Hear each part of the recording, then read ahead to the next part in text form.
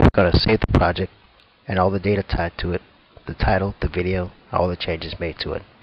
Not the video itself, but the, but the entire project here. Uh, here's what we're going to do. We're going to go to, click on this button. We're going to click Save Project As. Uh, be sure to pick a place where to save it. Uh, give it a file name and click Save.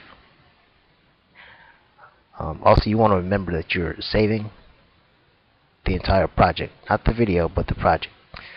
Um, the purpose of doing that is that if you, if you want to come back and, and work on it later, you can come back. You can come back and click on that file.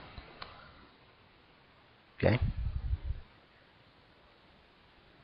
Let's say you exit out of um, Windows Live Movie Maker and you want to come back and work on the project that you already have. So we're going to go to the file that, that, that we just made. Double click on it. And there it is. Your place was successfully marked and you you can resume to where you left off. See, that's what the project file is for. It's meant to save your progress should you want to come back and work on your video project. It is not a video file, so don't get the video file and this file confused.